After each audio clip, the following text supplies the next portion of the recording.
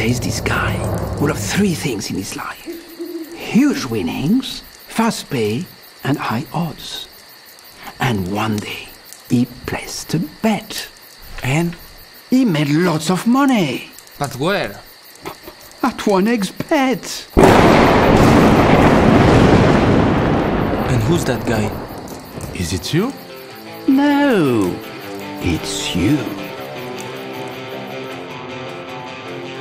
Joaquín Phoenix es un gran actor que se caracteriza por elegir muy bien a sus papeles, tanto así que puede esperar varias semanas hasta terminar de convencerse de que estará involucrado en alguna película. Con el Joker no fue la excepción y nos terminó brindando una de sus mejores actuaciones, por no decir la mejor. Sin embargo, existen muchas películas en las que este actor se ha desempeñado de manera increíble, pero que algunas de ellas pasaron desapercibidas en la cartelera. Por eso hoy veremos sus mejores actuaciones antes del Joker. ¡Comencemos!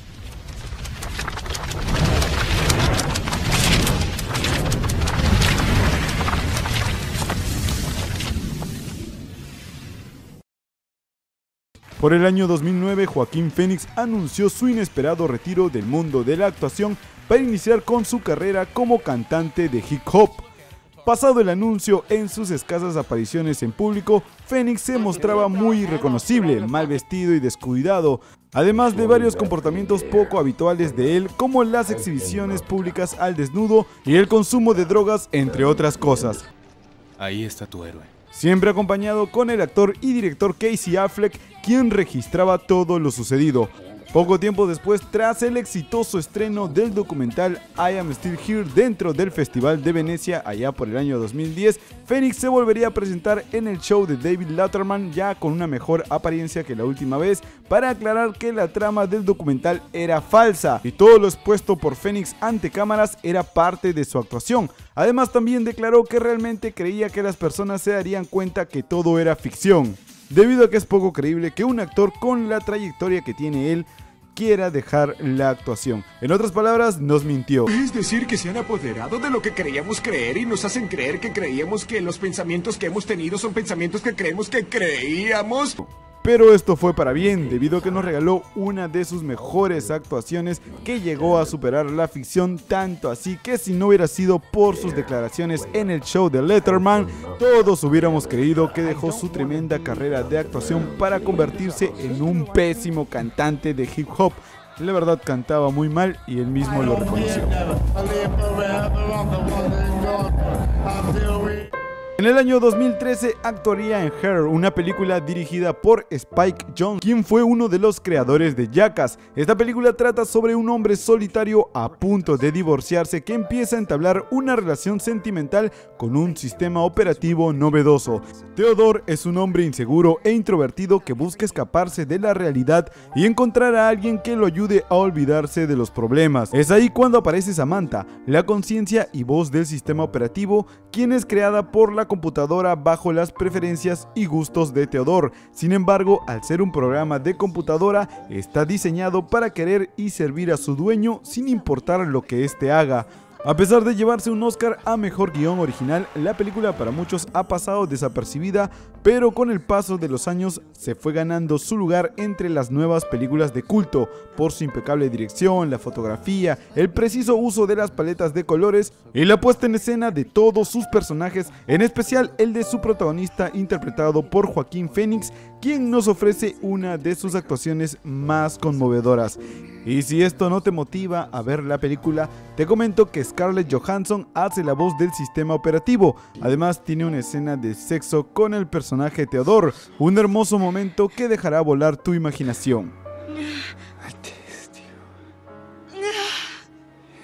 Cochino. Walk the line.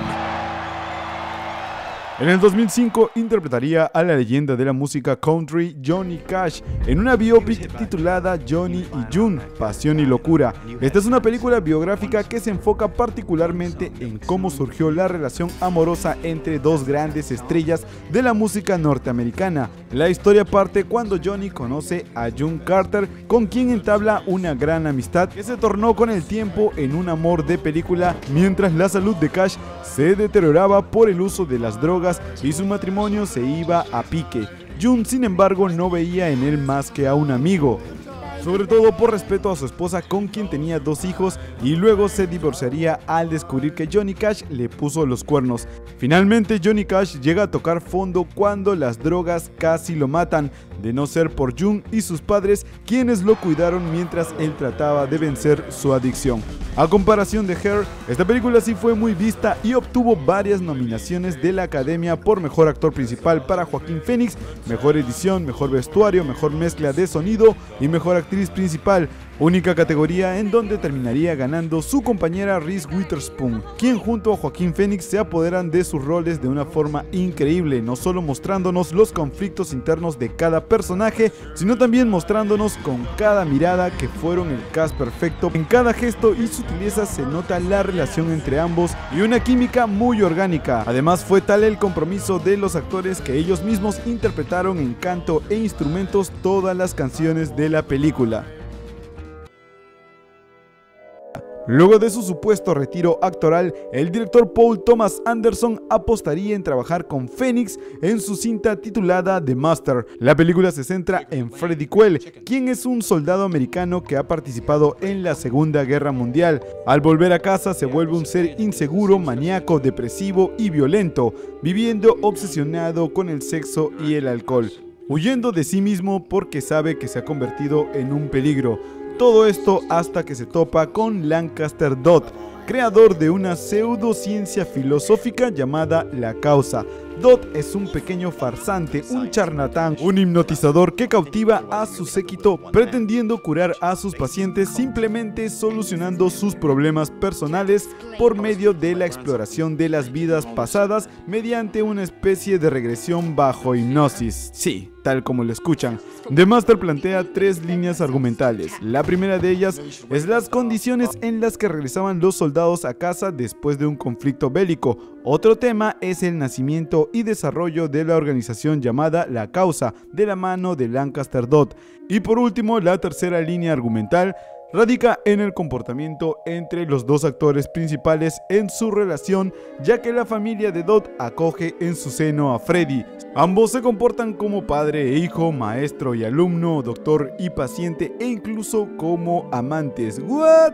Phoenix como Seymour nos brindó una realista y creíble puesta en escena que le sirvió a ambos actores para una respectiva nominación a los Oscars de ese año.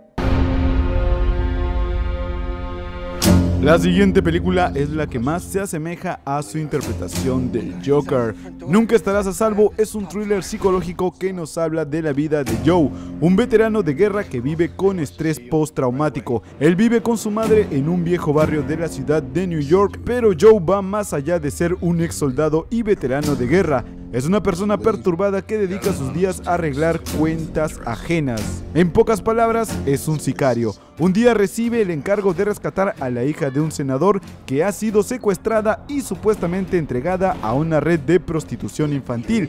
Esta misión de liberar a la adolescente desaparecida se complicará en sobremanera, arrastrando a Joe a una pérdida personal irreparable y despertando en él a la bestia que llevaba dentro. Podríamos definir a Nunca estarás a salvo como un film sobre la redención que se sumerge en lo más deplorable de la sociedad, un film alejado de la condescendencia para mostrarse con crudeza, pero sin vulgaridad ni gratuidad, aunque sí con una calculada frialdad que apunta a los conflictos morales y ni por asomo se acerca al sentimentalismo. De hecho, Nunca estarás a salvo está ejecutada con elegancia a partir de una cuidadosa puesta en escena en tonalidades frías y oscuras. La ejecución en cámara hace que nos adentremos en el personaje de Fénix, obviamente acompañado de una soberbia actuación que nos muestra desde su lado más sereno hasta lo más brutal.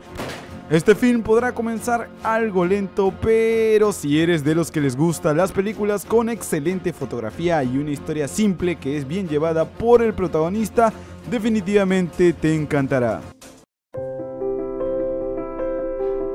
En esta película de hace apenas un año, Joaquín Phoenix trabajaría nuevamente con el director Gus Van Sant, un cineasta de cine independiente que se caracteriza por sus dramas sociales, donde todos sus protagonistas tienen una soberbia puesta en escena. En esta ocasión, Joaquín Phoenix nos brindaría nuevamente la que se considera la mejor actuación de su carrera jamás reconocida. La película es una biopic que narra la historia de John Callahan, un alcohólico en recuperación que tras quedar tetrapléjico por un accidente de coche, encuentra en la creación de irreverentes caricaturas su vía de escape y redención. Al igual que en Milk, que retrataba la vida del primer político homosexual en ser elegido para un puesto público en Estados Unidos, el director explora tanto las debilidades como la excentricidad de un dibujante que hizo del humor negro su marca registrada y que pasó gran parte de su vida sumido en la bebida. Es interesante ver cómo Van Sant saca lo mejor de Joaquín Phoenix y plantea desde el minuto cero el tema de la película, que se trata de seguir el recorrido de una persona que lucha contra sus demonios internos, evidenciando cómo las adicciones son consecuencia de situaciones no resueltas de nuestro pasado. Esta actuación significó un reto actoral para Phoenix que tuvo que actuar como una persona cuadraplégica lo que trajo consigo mucha crítica por parte de un sector que demandaba que la actuación debió ser para una persona de tal estado real. La película fue distribuida por Amazon y logró solo estrenarse por varios festivales como Berlín y Sundance, pero que no pudo llegar a los Oscar. Y esas fueron las mejores actuaciones de Joaquín Phoenix, así que dejen en los comentarios cuál le pareció a ustedes la mejor para que aparezca en el próximo video. Y ahora les voy a leer los comentarios del video anterior, pero como el video anterior fue un spot así súper divertido que hicimos, casi nos han ofrecido protagonismo en alguna película gracias a esa actuación tan magnífica que hicimos Chan y yo. Este, voy a leer también los comentarios del video del Joker, así voy a leer de dos videos, así, dos por uno, doble premio. Uno de los mejores comentarios fue el de Christian Byrne, que citó una frase del video que era, ahora tengo cuenta de Netflix, HBO, Spotify y Nintendo sin tener mi intento. No voy a hacer la voz de, Talibán que hice en el video, a la Bar, a la la la la no. No, si quieren ver esa tontería, no, vayan al video. Bueno, y jaja, buen comercial, me fin. Gracias, este, Cristian. y del video de Joker Orígenes, me río porque se están cagando de risa acá delante mío.